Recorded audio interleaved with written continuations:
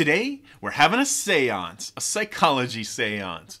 Oh, spirits, hear our words. We bring you gifts from life into death. Commune with us and move among us. What the hell are you doing? A seance.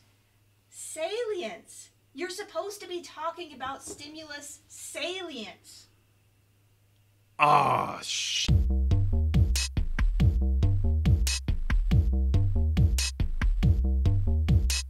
Hi everyone, welcome to Psy vs. Psy, where we talk about all things psychology. So if you're into that, feel free to subscribe. Today we're talking about a term you hear in psychology, especially in the field of learning, called salience, or sometimes stimulus salience. This issue came up in my recent video on the Rescorla-Wagner model, so I thought I'd do an expanded discussion of the idea. Now this term salience doesn't have a really solid definition, its edges are all fuzzy, but I think you'll be able to get the gist. Basically, salience describes how meaningful or attention-getting a stimulus is. Now, the most obvious way to make a stimulus more attention-getting is to increase its intensity. If I play a loud boat horn and give you $1,000, you're going to learn to associate the sound with the reward faster than if I sniffled and tossed you a half-eaten M&M. But changing stimulus intensity isn't the only way to increase the salience of a stimulus. What about your needs or current situation? If you're broke, $5 might be more salient as a reward than if you're a millionaire. If all I have is $1, well, that's a pretty important dollar. But I'm pretty sure Jeff Bezos would probably throw away several dollars just to make me go away. Studies with animals show this too. One really cool example involves conditioned taste aversion. Now, if you're unfamiliar with taste aversion, it's worth watching our video on John Garcia and taste aversion learning. Basically, animals learn to avoid tastes that have been paired with illness.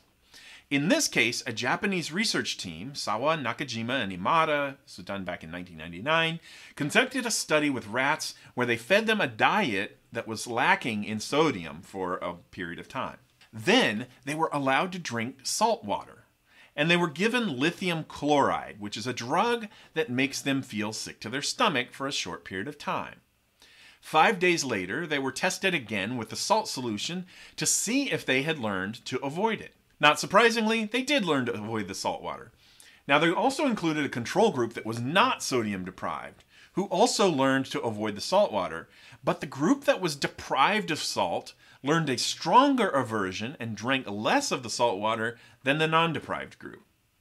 Now, there are other similar studies, but I mentioned this one because it seems like, if anything, the salt deprived group would have an incentive to drink more of the salt, not less. So the fact that they drank less is an elegant way to show the importance of stimulus salience. I've got one more experiment to share with you about stimulus salience, and oh boy, this one's going to take some turns. Strap in. This study comes from a researcher named Mike Domjan. Now that's Domjan with a J, so if you've only ever seen it written, you might be tempted to pronounce it Domjan, but now you're one of the cool people who knows how it's properly pronounced. In fact, I'm strongly influenced by Domjan on this topic. First of all, his Principles of Learning is a top-notch introductory textbook if you're interested in the subject at all. Also, he was the mentor of my undergraduate mentor, so I feel especially connected to his work. One of his big contributions is using sexual conditioning in Japanese quail as a model of learning. Why quail sex? Well, it's an interesting model precisely because it's so different from the traditionally studied types of learning with either fear or food, usually using rodents. One interesting finding is that quail sexual conditioning follows many of the same rules that other types of learning follow, which tells us there are general rules of learning that appear to be common across all kinds of different situations and all kinds of different stimuli. Also, quail are built for sex. They have an impressive testicle to body size ratio, and their reproductive strategy is similar to that of Doritos' old ad slogan Eat all you want, we'll make more. Is that reference too old? Oh god. There's an interesting case here, though, in terms of stimulus salience. The basic procedure works like this the male quail is placed in an arena, a big open area, for 15 minutes or so. On either end of the arena are doors that open into compartments. Behind one door is the conditioned stimulus, which is a vaguely quail-shaped wooden block covered with fabric. Behind the other door is the unconditioned stimulus, the quail's girlfriend. Okay, so he's running around this arena and suddenly the door opens to the wood block CS. 30 seconds go by, and then the door opens to the actual female quail. Now, the male tends to run over and try to mate with the female, and after several presentations, the male will start mounting and trying to copulate with the wood block CS. This tells us that he is learning. Now, here's where it gets really wild. If you make the CS more salient by attaching an actual taxidermy female quail head to it, the learning happens faster, the behaviors are stronger, and they're more long lasting.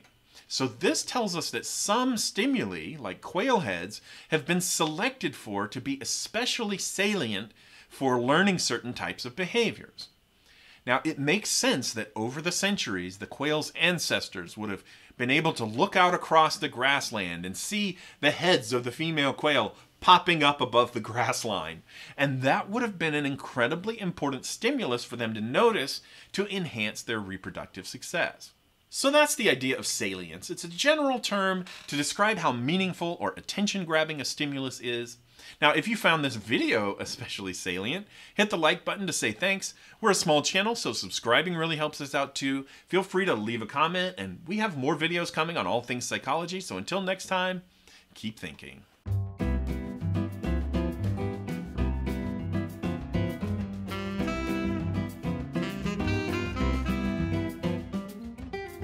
Let's see, when did that Doritos commercial come out anyway? 1989, starring Jay Leno. That's the scariest part of his whole video.